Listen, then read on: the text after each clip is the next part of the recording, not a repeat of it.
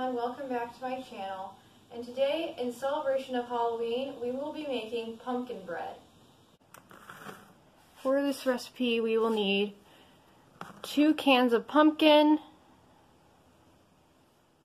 five and one third cups granulated sugar, eight eggs, two cups of vegetable oil, one and one third cups water, six and two thirds cups flour, one teaspoon baking powder, four teaspoons baking soda, three teaspoons salt, two teaspoons of nutmeg, two teaspoons vanilla extract, and then for the chocolate chip pumpkin bread, one and a half cups chocolate chips. Our first step is to preheat our oven to 350 degrees. Our first step is to mix together the oil,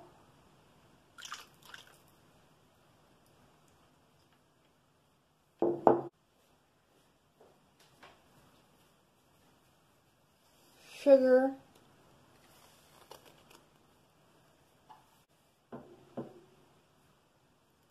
eggs, pumpkin,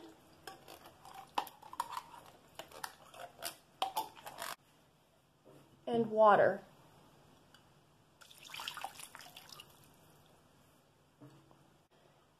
Next we're going to add our flour, baking powder, baking soda, salt, nutmeg, and vanilla. And then stir to combine all of these ingredients. Now since we are making two different batters, we're going to pour the batter we're keeping plain into a greased pan.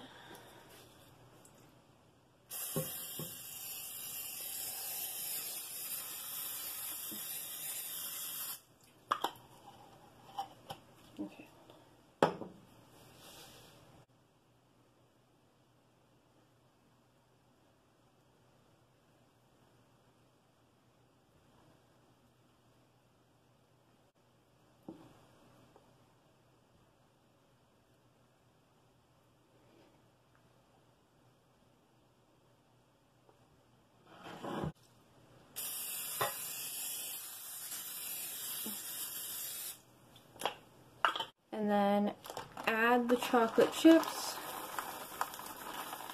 to the rest of our batter.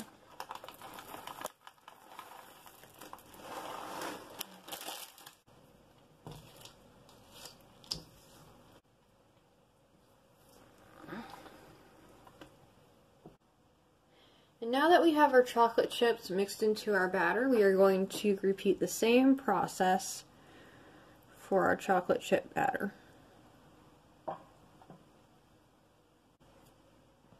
Now that all of our batter is measured into the pans, we are going to put it in the oven and bake it for 60 to 80 minutes.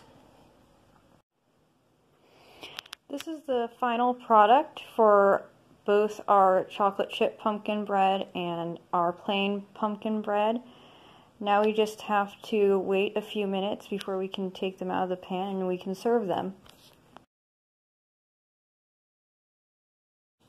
That's all for today, guys. I'll see you in the next one. Bye.